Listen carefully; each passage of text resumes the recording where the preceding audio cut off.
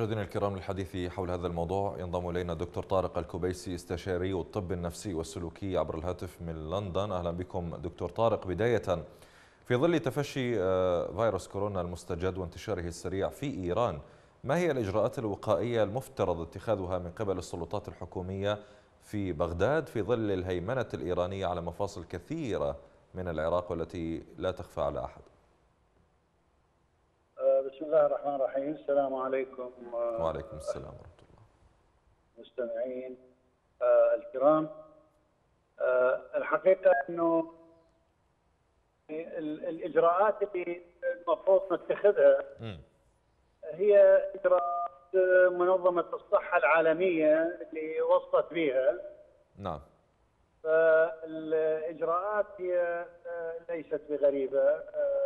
طبعا انوه هنا أنا طبيب نفسي ولست طبيب صحة عامة. نعم. ولكن أقول لكم عن الأشياء اللي عندنا هنا في إنجلترا. نعم. كل يوم تنزل لنا نشرة للمستشفى وبالمؤسسات الصحية عن المستجدات حول الكورونا ليس نعم. فقط من ناحية الحجر الصحي انما عن كل المعلومات وأسبابها وكيفية الوقاية منها.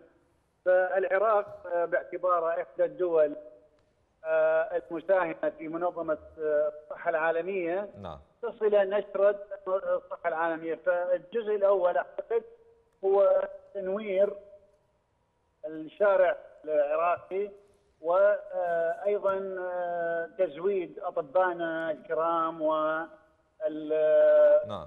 منظمين الطبابة الصحية في المستجدات. طيب دكتور يعني طبعا العام. بالنسبة لمسائل الوقاية العامة نعم.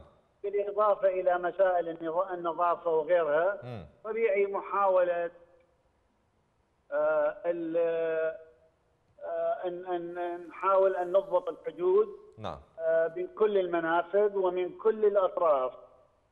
المنافذ البحرية، المنافذ الجوية، المنافذ آه أيضا البرية. دكتور طارق يعني آه، إذا سمحت لي. طبعا أنا أشكر حضرتك على تفضلك بالمشاركة معنا وأنت آه، استشاري آه، نفسي. لكن مع هذا نستفيد من خبرتكم الطبية أكيد الواسعة بأساسيات مواجهة آه، هكذا نوع من آه، الفيروسات التي اجتاحت العالم. يعني آه، أنتم تعلمون دكتور أن العراق بلد ليس مؤهل بالنسبة لقطاعه الصحي. نتحدث بالعموم الآن. كيف يمكن لبلد بهذه الرداءة على المستوى الصحي أن يتعامل مع هكذا فيروس لم لم يتم إيجاد علاج له أو مصل له؟ و يعني حقيقة لا توجد أيضا اكتراثة أو لا يوجد اكتراث من قبل القائمين على الحكم في العراق تجاه القطاع الصحي بشكل عام. من الطبيعي يعني إنه هذه الفاء الجوانب الصحية يجب أن تكون متوفرة وأنا متأكد إنه عندنا في العراق كوادر صحية كبيرة ممكن أن تساهم في درء الخطر وهذه ليست المرة الأولى بالنسبة لاطبائنا الكرام والكوادر الصحية أن يتجاوزون محن مثل هذه فسبق أن تجاوزنا محن انفلونزا الطيور ومحن الكوليرا ومحن كثيرة. المشكلة ليست ليست مشكلة أطباء وغيرها إنما أعتقد هنالك يجب أن تكون النظم الصحية والناس المسيطرين بالجانب الصحي نعم. على أن يكون هناك جدية في التعامل مع هكذا وباء. نعم دكتور.